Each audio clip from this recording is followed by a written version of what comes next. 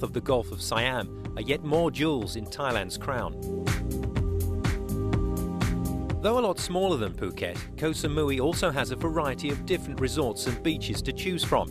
Paula and Claire took a drive around the island to discover some of the attractions and different beaches.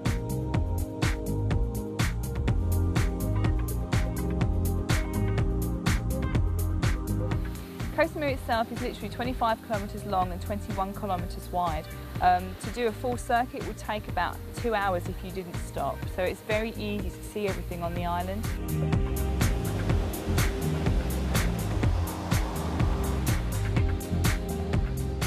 Things to do in the evening in Koh Samui, the main resort is Chaweng, where there are lots of things to do, anything from Thai boxing to reggae bars to nightclubs.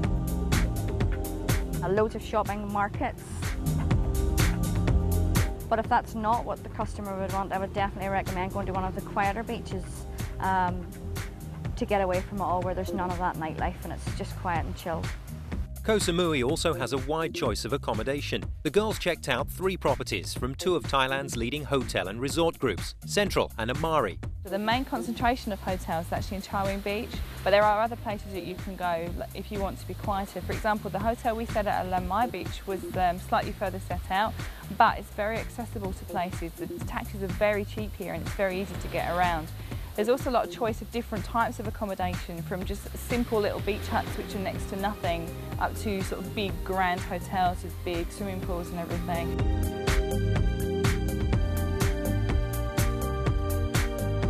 There's a lot more to do in Koh Samui, like what we're doing today. As you can see, we're, we're heading over to Ang Thong National Park.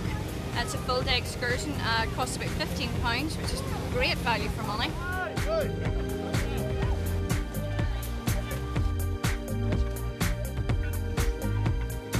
Being scared walking up those wooden bridges and coming up those steps and that height is just when you get up here it definitely definitely is worth it it is just the most amazing thing I've ever seen in my life it's fantastic this is what I came to Thailand for and I've got it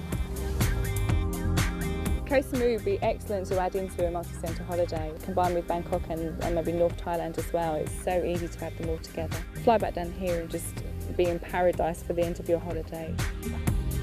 And last but not least, the girls headed to Koh Tao, accessible as a day trip or for overnight stays from Koh Samui, and a mecca for diving enthusiasts. It's just idyllic. It's really small, a lot smaller than Koh Samui, and it's a little bit like what Koh Samui was like 20 years ago. Very quiet, hardly any people here. This is just the most amazingly beautiful place.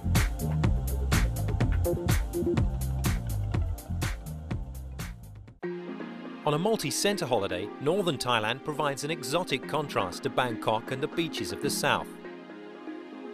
Philip and Stuart took a one-hour Bangkok Airways flight to Udon Thani, gateway to the northeast region of Isan.